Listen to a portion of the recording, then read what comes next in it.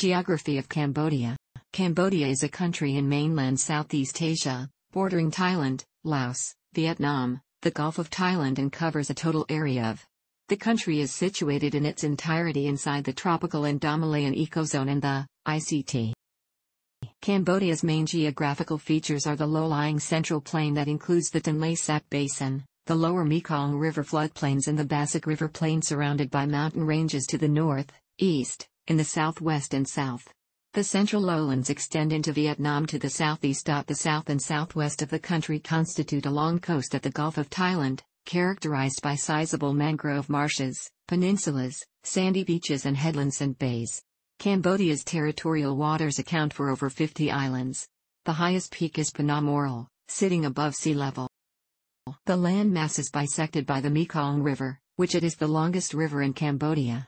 After extensive rapids, turbulent sections and cataracts in Laos, the river enters the country at Stung Treng province, is predominantly calm and navigable during the entire year as it widens considerably in the lowlands. The Mekong's waters disperse into the surrounding wetlands of central Cambodia and strongly affect the seasonal nature of the Tonle Sap Lake. Two-thirds of the country's population live in the lowlands, where the rich sediment deposited during the Mekong's annual flooding makes the agricultural land shyly fertile.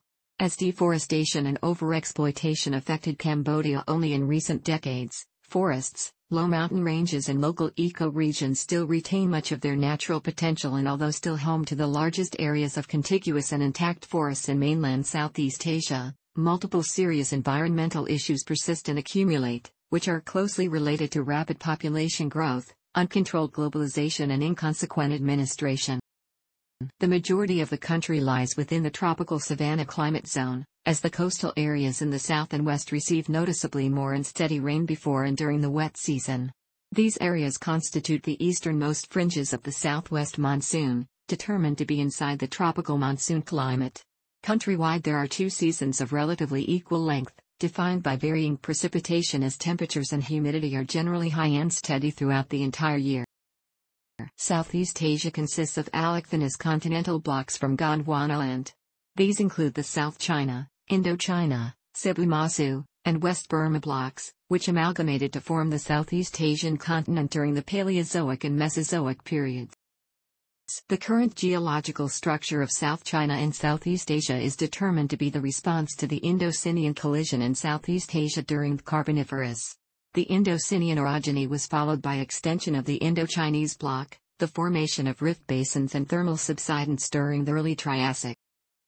The Indochina continental block, which is separated from the South China block by the Jinshajiang Ailaoshan Suture zone, is an amalgamation of the Viet Lao, Korat Kontum, Otaradit, United, and Chiang Mai West Kachin terrains, all of which are separated by suture zones or ductile shear zones.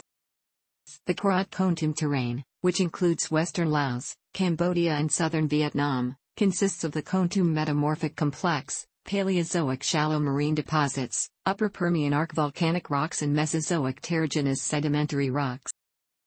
The central plains consist mainly of quaternary sands, loam and clay, as most of the northern mountain regions and the coastal region are largely composed of Cretaceous granite, Triassic stones and Jurassic sandstone formations.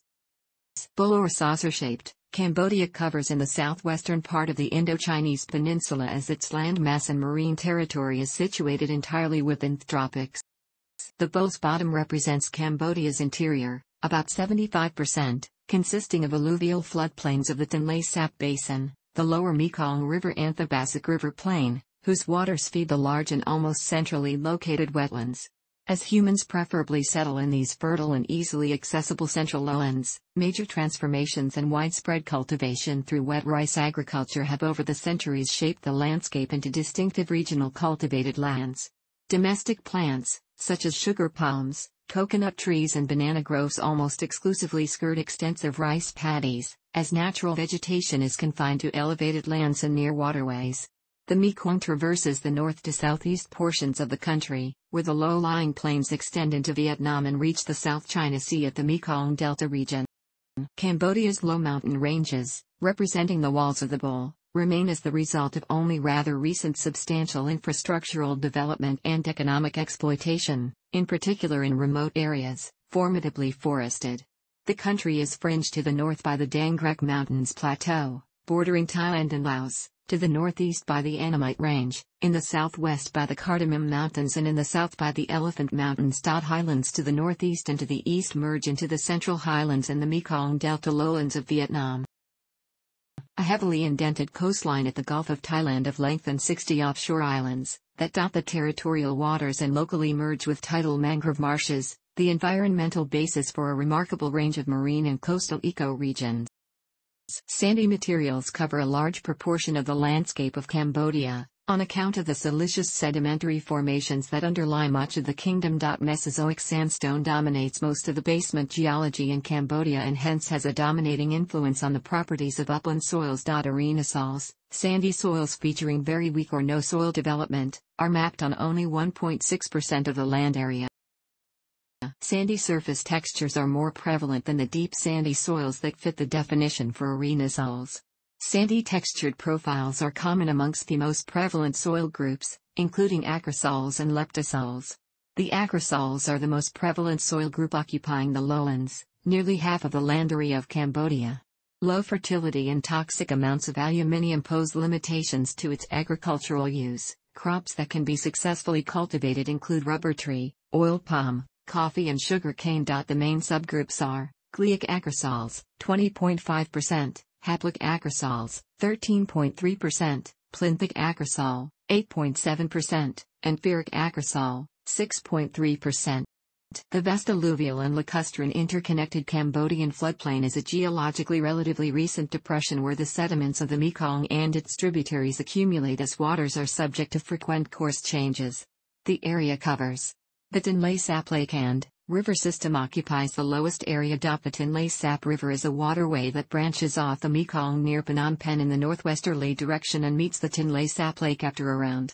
Its waters flow reverses direction every year, caused by greatly varying amounts of water carried by the Mekong over the course of a year and the impact of monsoonal rains, that coincides with the river's maximum.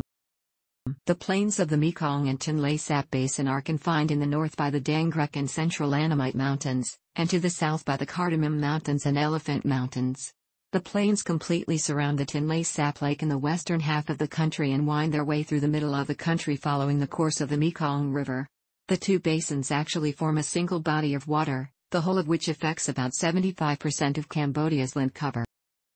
The Mekong River and its tributaries increase water volumes in spring, May, on the northern hemisphere, mainly caused by melting snows. As the Mekong enters Cambodia, over 95% of its waters have already joined the river, it widens and inundates large areas.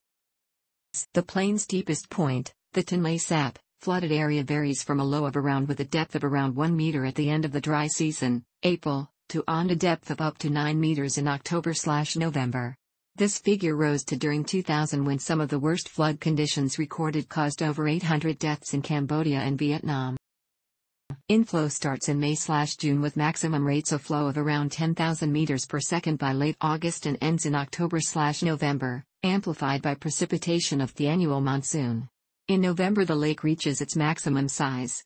The annual monsoon coincides to cease around this time of the year. As the Mekong River begins its minimum around this time of the year and its water level falls deeper than the inundated Tonle Sap Lake, Tonle Sap River and surrounding wetlands, waters of the lake's basin now drains via the Tonle Sap River into the Mekong.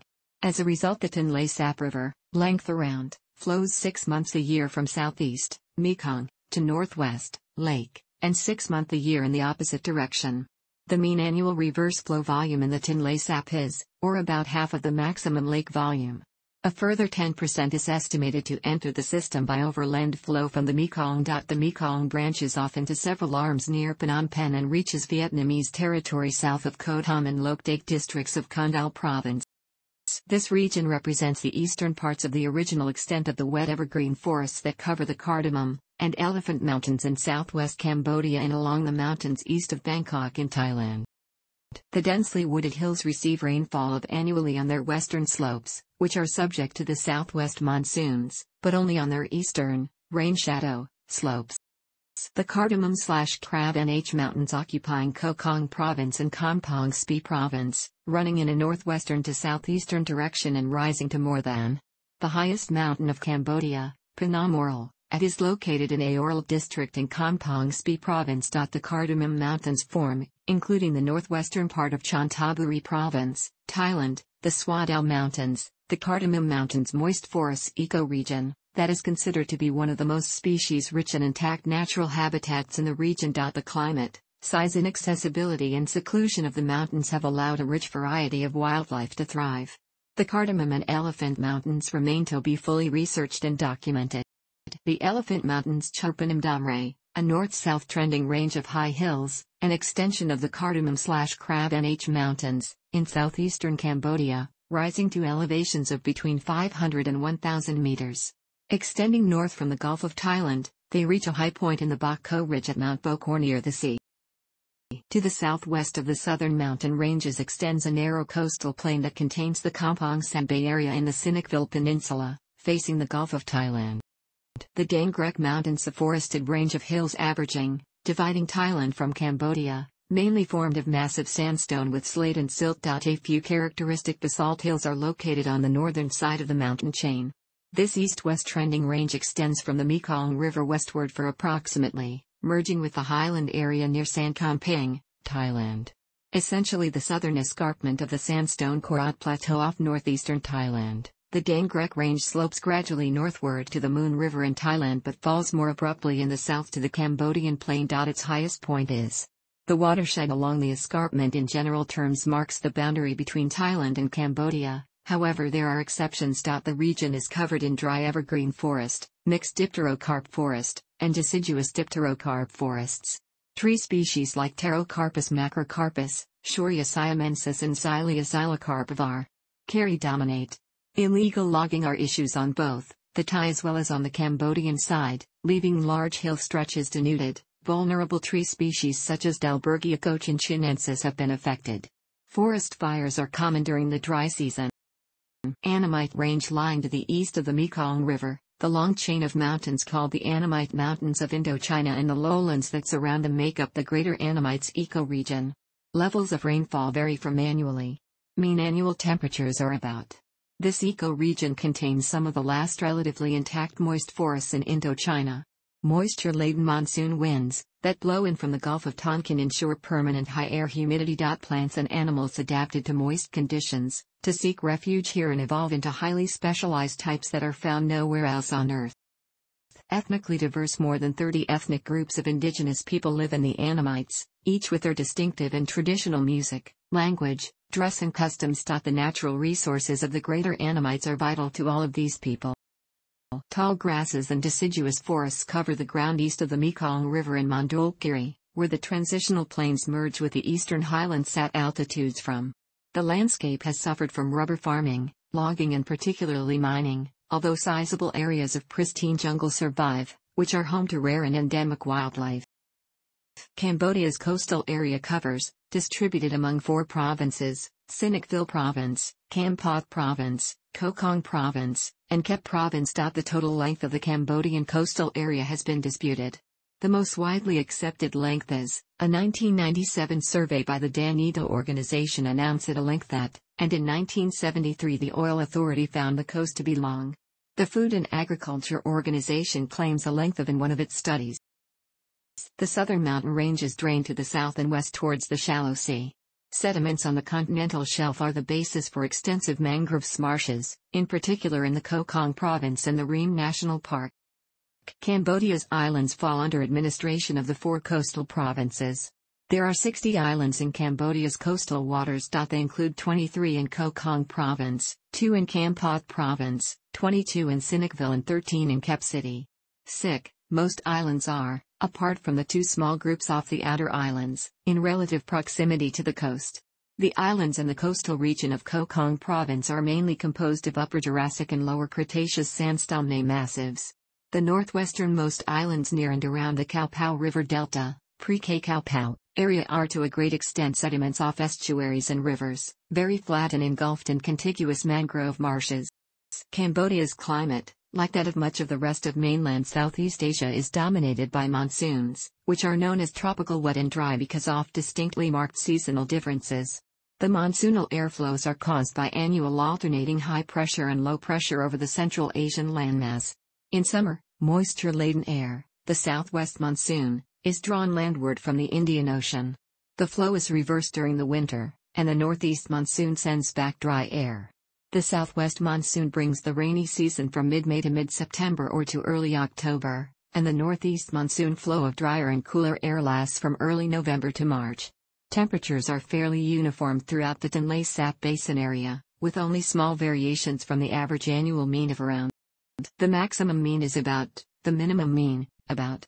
Maximum temperatures of higher than, however, are common and, just before the start of the rainy season, they may rise to more than. Minimum night temperatures sporadically fall below. In January, the coldest month. May is the warmest month, although strongly influenced by the beginning of the wet season, as the area constitutes the easternmost fringe of the southwest monsoon. Tropical cyclones only rarely cause damage in Cambodia. The total annual rainfall average is between, and the heaviest amounts fall in the southeast. Rainfall from April to September in the Tonle Sap Basin Mekong lowlands area averages annually, but the amount varies considerably from year to year. Rainfall around the basin increases with elevation. It is heaviest in the mountains along the coast in the southwest, which receive from to more than of precipitation annually as the southwest monsoon reaches the coast. This area of greatest rainfall, however, drains mostly to the sea, only a small quantity goes into the rivers flowing into the basin. Relative humidity is high throughout the entire year, usually exceeding 90%. During the dry season, daytime humidity rates average around 50% or slightly lower, climbing to about 90% during the rainy season. The Mekong River and its tributaries comprise one of the largest river systems in the world. The central Tonle Sap, the Great Lake has several input rivers, the most important being the Tonle Sap River, which contributes 62% of the total water supply during the rainy season. Direct rainfall on the lake and the other rivers in the sub-basin contribute the remaining 38%. Major rivers are the Sen River, Srang River, Stung Palisat River, Sisophon River, Mongkol River, and Sankey River. Smaller rivers in the southeast, the Cardamom Mountains and Elephant Range form separate drainage divides. To the east the rivers flow into the Tonle Sap, as in the southwest rivers flow into the Gulf of Thailand. Toward the southern slopes of the Elephant Mountains, small rivers flow southeastward on the eastern side of the divide. The Mekong River flows southward from the Cambodia-Laos border to a point south of Kratie town, where it turns west for about and then turns southwest towards Phnom Penh. Extensive rapids run north of Kratie city. From Kampong Cham province the gradient slopes very gently, and inundation of areas along the river occurs at flood stage. From June through November, through breaks in the natural levees that have built up along its course. At Phnom Penh, four major water courses meet at a point called the Chaktomuk, Four Faces. The Mekong River flows in from the northeast and the Tonle Sap River emanates from the Tonle Sap, flows in from the northwest. They divide into two parallel channels, the Mekong River proper and the Bassac River, and flow independently through the delta areas of Cambodia and Vietnam to the South China Sea. The flow of water into the Tonle Sap is seasonal. In spring, the flow of the Mekong River, fed by monsoon rains, increases to a point where its outlets through the delta can't handle the enormous volume of water. At this point, the water pushes northward up the Tonle Sap River and empties into the Tonle Sap Lake, thereby increasing the size of the lake from about to about at the height of the flooding. After the Mekong's waters crest, when its downstream channels can handle the volume of water, the flow reverses, and water flows out of the engorged lake. As the level of the Tonle Sap retreats, it deposits a new layer of sediment. The annual flooding, combined with poor drainage immediately around the lake, transforms the surrounding area into marshlands, unusable for agricultural purposes during the dry season. The sediment deposited into the lake during the Mekong's flood stage appears to be greater than the quantity carried away later by the Tonle Sap River. Gradual silting of the lake would seem to be occurring. During low water level, it is only about deep, while at flood stage it is between deep.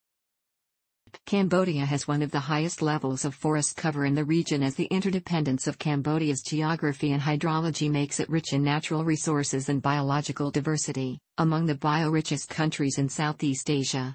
The royal government of Cambodia estimates Cambodia contains approximately 10.36 million hectares of forest cover, representing approximately 57.07% of Cambodia's land area, 2011. On the contrary, international observers and independent sources provide rather different numbers. Consensus permeates, as most sources agree, that deforestation, loss of seasonal wetlands and habitat destruction among countless minor factors, correlates with the absence of strict administrative control and indifference in law enforcement, not only in Cambodia but entire region. Figures and assessments are numerous as are available sources. As seen in numbers below, which provide a wide range for interpretation. About 1% of forest cover is planted forest. Overall Cambodia's forests contain an estimated 464 million metric tons of carbon stock and living forest biomass. Approximately 40% of Cambodia's forests have some level of protection, while one of the Cambodia Millennium Development Goals targets is to achieve a 60% forest cover by 2015. According to the Forestry Administration statistics, a total of 380,000 hectares of forest were cleared between 2002 and 2005-2006, a deforestation rate of half a percent per year. The main cause of deforestation has been determined to be large-scale agricultural expansions. The southern Annamites montane rainforest ecoregion of the montane forests of Kon the Dragon's Tail in the remote northwest of Cambodia, were the boundaries of Cambodia, Laos, and Vietnam meet, is remarkably rich in biodiversity. The relatively intact forests occupy a broad topographic range from lowlands with wet evergreen forests to montane habitats with evergreen hardwood and conifer forests. The complex geological, topographic and climatic, rainfall and temperature, facets that characterize the region make forest structure and composition unique and very variable. There is an unusually high number of near-endemic and endemic species among the many species to be found in the area. The entire ecoregion has a size of the Tonle Sap, also known as the Great Lake in central Cambodia is the largest freshwater lake in Southeast Asia and one of the richest inland fishing grounds in the world. The lake functions as a natural floodwater reservoir for the Mekong system as a whole and therefore is an important source of water for the Mekong Delta during the dry season. The ecosystem has developed as a result of the Mekong's seasonal flow fluctuations. A belt of freshwater mangroves known as flooded forests surrounds the lake. The floodplains in turn are surrounded by low hills, covered with evergreen seasonal tropical forest with substantial dipterocarp vegetation or deciduous dry forest. The ecoregion consists of a mosaic of habitats for a great number of species. The forest gradually yields to bushes and finally grassland with increasing distance from the lake. Henri Mouhot, Travels in the Central Parts of Indochina 1864. On higher quality soils or at higher elevation, areas of mixed deciduous forest and semi-evergreen forests occur. This variety of vegetation types accounts for the quantity and diversity of species of the Great Lake ecosystem. Interlocking forest, grassland and marshland patches provide the many facets and refugia for the abundant local wildlife. The lake's flooded forest and the surrounding floodplains are of utmost importance for Cambodia's agriculture as the region represents the cultural heart of Cambodia, the center of the national freshwater fishery industry, the nation's primary protein source. Threats to the lake include widespread pollution, stress through growth of the local population which is dependent on the lake for subsistence and livelihood, overharvesting of fish and other aquatic, often endangered, species, habitat destruction and potential changes in the hydrology, such as the construction and operation of dams, that disrupt the lake's natural flood cycle. However, concerns that the lake is rapidly filling with sediment seem, according to studies to be unfounded at the present time. Wetlands cover more than 30% of Cambodia. In addition to the Mekong River and the Tonle Sap floodplain there are the Stung Sen River and the coastal Stung Ko Pao, and Stung Kep estuaries of Koh Kong Province and Kep Province. The freshwater wetlands of Cambodia represent one of the most diverse ecosystems worldwide. The area's extensive wetland habitats are the product of the annual Mekong maximum, the simultaneous wet season and the drainage paths of a number of minor rivers. See also Geography of Cambodia Hash Hydrology The numerous and varied wetlands are Cambodia's central and traditional settlement area, the productive environments for rice cultivation, freshwater fisheries, other forms of agriculture and aquaculture and the constantly growing tourism sector. Considering the ecoregion's importance, a variety of plans for local wetland management consolidation exist with varying degrees of completion.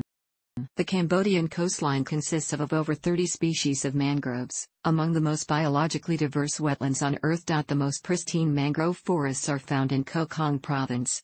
In addition to mangroves, seagrass beds extend throughout the coastal areas, especially in Kampot Province, the Sihanoukville Bay Delta and the Kep municipal waters. The meadows are highly productive, but few animals feed directly in the grasses.